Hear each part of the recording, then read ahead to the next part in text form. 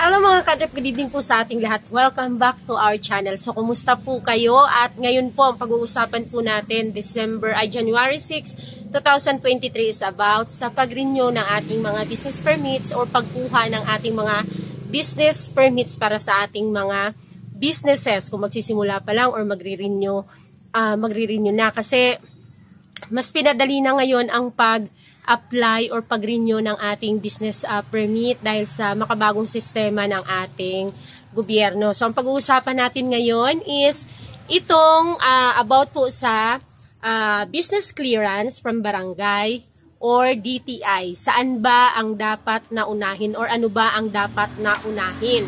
So, uh, discuss ko lang muna itong ating between sa ito po kasing uh, business clearance, usually binibigay po itong business clearance after na mabigyan tayo ng barangay clearance. So this is a uh, ito ay barangay clearance for business clearance. Ito siya. So magkasama itong kinukuha sa mga barangay hall. Kung halimbawa i-required ng inyong barangay hall or ng barangay ang puro clearance, so kumuha muna kayo ng puro clearance bago ang ba, barangay clearance for business clearance. So ito namang DTI na pinaka-basic at pinaka-importante din sa lahat.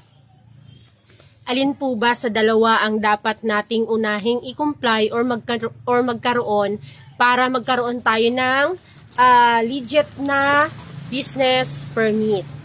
Yung, yung ganito na siya. Ayan. So, ayan na yung mga tapos na. So, ano ba ang dapat nating unahin kasi may mga nalilito nito na dumidiretso na kaagad sa city hall or municipal hall or munisipyo na sa pag-aakalang ang uunahin ay DTI or pumupunta sa barangay sa pag-aakalang uh, barangay clearance or business clearance. So klaruhin po natin para sa kalinawan ng lahat na ang una pong i-comply ng uh, magre-renew ka man ng iyong business permits kung mga nakalimot or mag apply ng new or bago pa lang ang iyong uh, business uh, establishment or business na applyan mo ng business permits, ang una pong i-comply natin is barangay clearance and business clearance. So magkasama po itong kinukuha, resibo po ito.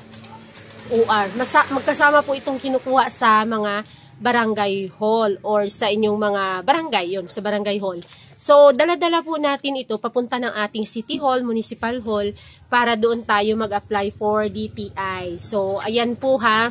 Huwag po muna kayong dumiretso kaagad sa municipal hall or sa city hall na wala kayong dalang barangay clearance and business clearance. Basta pag pumunta po kayo sa barangay, sabihin nyo lang na mag-apply kayo ng um, business permit. So, yan pong ibibigay sa inyo barangay clearance for business clearance. Itong dalawa magkasama yan. Pwede ring wala na itong business clearance kasi dito ko sa dito na branch uh, barangay clearance lang ang binibigay. Wala nang business clearance, wala na ito. So may mga barangay din naman na nagbibigay na ng uh, barangay clearance, nagbibigay pa ng business clearance para panigurado kung ano ang kakailanganin ng ating mga uh, officers sa munisipyo. So ang DTI po is uh, second yan siya. Kailangan mo talaga muna ng barangay clearance para mabigyan ka ng DTI permit. Ayan. So, sa pag-apply po ng DTI uh, ah, permit, kailangan mag-prepare po kayo ng ipapangalan ninyo sa inyong uh, business na at least tatlo. Kasi hindi pwede yung may kapareho ka na. So, dapat nakaprepare ka para hindi masayang ang oras mo doon sa iyong doon sa City Hall sa pag-iisip kung ano bang ipapangalan mo sa iyong uh, ah, DTI, sa iyong permit, sa iyong business, kung nandoon ka na, syempre palaging mahaba ang pila, maraming tao, tapos masasayang yung oras mo kakaisip. Tapos kung may kapareho ka kasi, so hindi siya tatanggapin, may invalid siya, so you need to provide na naman ng another. So at least maglista na kayo.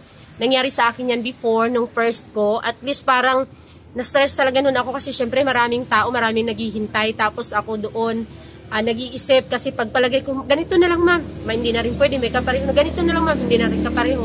So, nauwi talaga ako dun sa hindi ko ina-expect na ipangalan na lang kasi palagi may kapareho. So, para maiwasan yung hassle at uh, masayang yung mahabang oras nyo sa pag-iisip ng inyong ipapangalan ilalagay sa DTI permit ninyo is i-prepare nyo na kaagad ang ang mga pangalan na ilalagay doon para kung may hindi available, nandyan ka agad pang replace. So, yun po.